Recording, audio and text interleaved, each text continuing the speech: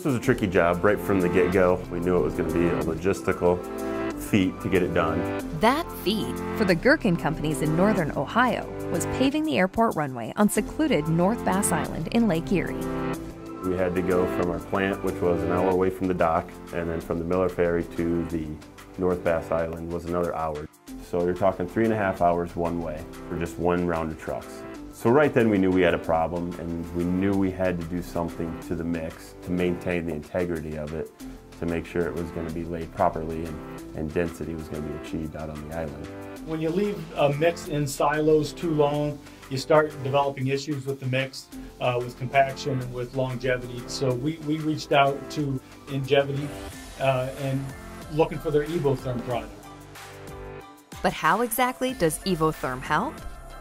Traditionally, hot asphalt is used at very high temperatures and cools and hardens quickly over time. This means crews usually have a short working window before the mix gets too stiff and that traveling long distances to a job site is a big challenge. But Evotherm allows paving temperatures to be lowered by up to 100 degrees, while at the same time helping the mixture stay consistently workable for longer, so customers like Gerken can accomplish challenging projects like an isolated island runway. It did everything we needed it to do.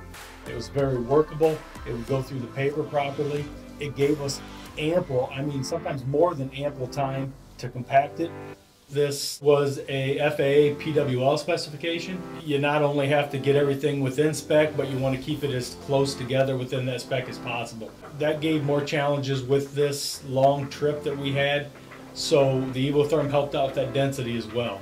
We were able to check our cores on site, so we got timely results to make sure that our compaction was going in the proper direction. Looks like a pretty nice core, so I'd anticipate it's going to be within the limits we're looking for. These guys really buckled down, um, did what they needed to do on a day-to-day -day basis to make this a very productive and efficient job. The quality of the mix at the plant came out correct, and everything turned out in a manner that we were hoping for on the island.